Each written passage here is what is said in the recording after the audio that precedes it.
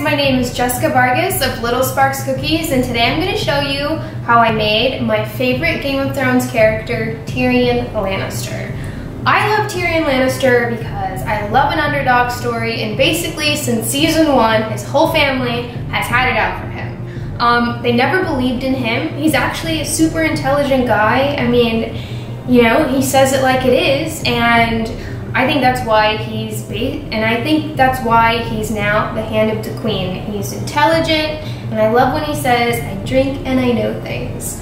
And I also love that he's basically never gotten credit for any of the amazing things that he's done. Remember when he basically fought for Joffrey in that war, and that's how he ended up with this little scar on his face.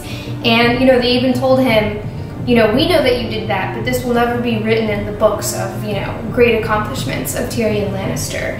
And, you know, he had to do what he had to do and kill his dad, and, but yeah, basically his whole life is just filled with betrayal, especially Shae, who he actually loved. That broke my heart. Um, you know, Jaime Lannister, who he has a great relationship with, basically was going to let him die, but, you know, he was intelligent and killed his dad.